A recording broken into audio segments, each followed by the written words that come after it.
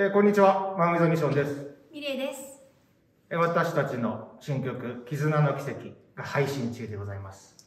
えーこの楽曲はアニメ、鬼滅の刃、刀鍛冶の里編で、あオープニングでね、はい上がってきておりますけれども、聞きどころ、なんかございますか？自分で言うのもなんかござそうですね。あの、まず、このマウイズさんと私、ミレイでコラボするっていう、そしてこうやってミュージックビデオなども撮らせていただいたりしたんでども、はい。あの、バンドサウンドすごく楽しかったですし、あうんちょっとあの、和楽器なテイストも入っていたりするじゃないですか。はいそれがすごくあのパンチが効いていてあのアニメのテーマにもすごく合ってて、はい。なんか歌いながらすごくキャラクターたちが頭の中に浮かんで思い入れのあるすごく大切な曲になりましたありがとうございます。嬉しいですね。